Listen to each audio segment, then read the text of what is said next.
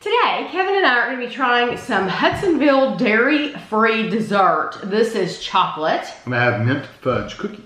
This was $3.50 at Meijer. We've only seen this brand at Meijer. Um, in your area, they might be at other stores. If they are, you can let everyone know. Two-thirds cup, uh, 91 grams, is 200 calories of the chocolate or 600 uh, calories for the entire container.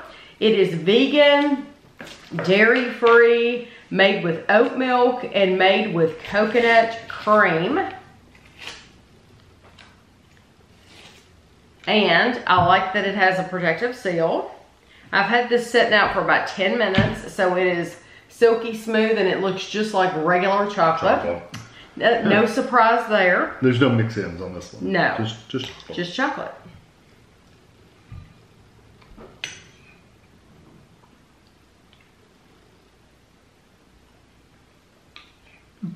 It's good. It is good. You can taste the coconut though. Mm-hmm. It tastes like chocolate and coconut. Mm-hmm. That's that's what it tastes like. But it, it adds a sweetness to it that, that's really good. I yes, like it. I like it too. I like it a lot. Mm-hmm. But for those people who do not like coconut, Yeah, you would. you would not want this Yeah. because it does taste like coconut. You know what though? I'm not a big chocolate ice cream fan. I mean, I like chocolate, but I don't, I don't eat it regularly. Mm-hmm. I like the addition of the coconut because it it makes it different. It adds a So- different flavor. So I would yes. I would eat this um, over just if I had the choice between this and just a traditional chocolate. You would like I would this. I would get this because Yes. it adds a different flavor to it. I agree. I like it a lot too. Mm-hmm. Um, It's, I love the quality of it too. It's very creamy, very rich, very smooth. It's Mm-hmm. just really good. And if they ever wanted to add a little different mix in with it, they could add actual coconut flakes to it. Yeah. And that could give it a little texture. Make it a chocolate coconut. This is the mint fudge cookie. And it is 240 calories for two thirds cup, 95 grams, or 720 calories for the entire pint. I still don't think 720 calories is bad. No, Um, most of them are thousands. Ooh, wow. No, Yeah. You can really Definitely see the this up. cookie. The fudge cookie. My only concern is what will the mint taste like? Yeah, how strong is it going to be?